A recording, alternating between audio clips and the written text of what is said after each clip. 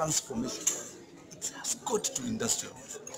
Uh, historically, this is the path that countries have used to realize development and economic transformation. So countries like Singapore, South Korea, Malaysia, and so on, and others that are coming up now, like South Africa, Brazil, and so on, they are taking that path of industrialization.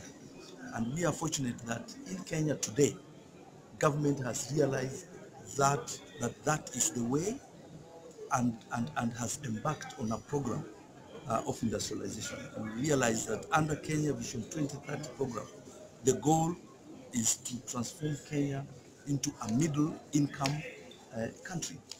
And, and that can only be achieved through industrialization. And uh, you will also realize in the present government's uh, Big Four agenda, it has four items. One of them is manufacturing. So, so step we have realized at least step one, government has embarked from the standpoint of policy uh, on the path of transforming this country into an industrialized society.